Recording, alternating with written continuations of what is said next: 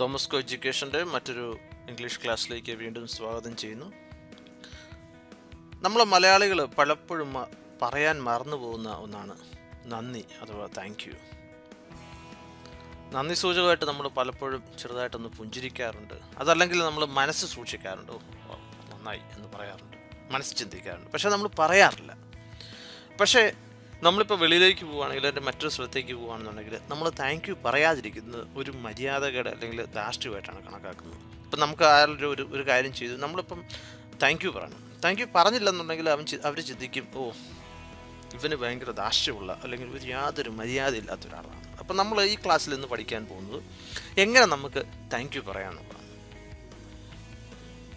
നമുക്ക് just thank you എന്ന് പറയാം.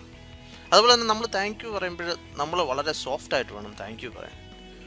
അതല്ലെന്നുണ്ടെങ്കിൽ അതിന് ഓപ്പോസിറ്റ് മീനിങ് ആയി അതുകൊണ്ട് തന്നെ നമ്മൾ താങ്ക് യു പറയുമ്പോൾ വളരെ സോഫ്റ്റ് ആയിട്ട് നന്നായിട്ട് പറ്റുമെങ്കിൽ ഒന്ന് ചിരിച്ചുകൊണ്ട് താങ്ക് യു പറയുക. Thank you very much thanks a lot അല്ലെങ്കിൽ നമുക്ക് പറയാം thank you so much thanks a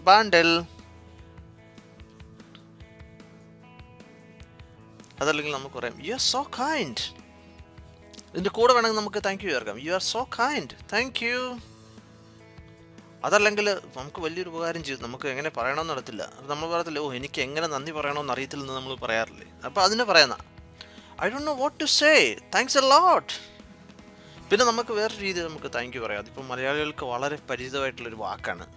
അത് നമുക്ക് പറയാവുന്നതാണ്. ചിയേഴ്സ് അത് താങ്ക് എന്ന് പറയാൻ ഉപയോഗിക്കുന്ന ഒരു സംഭവമാണ്. ചിയേഴ്സ്